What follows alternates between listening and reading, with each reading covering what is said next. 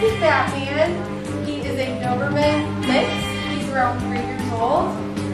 And I'm going to show you some of his tricks. Everybody, sit. He's so excited. Yes, he is. He's good with kids. Um, he's house trained. He makes no messes. He loves trees and uh, he's really Yes, he's a good boy. All right, come and meet him at Unleashed.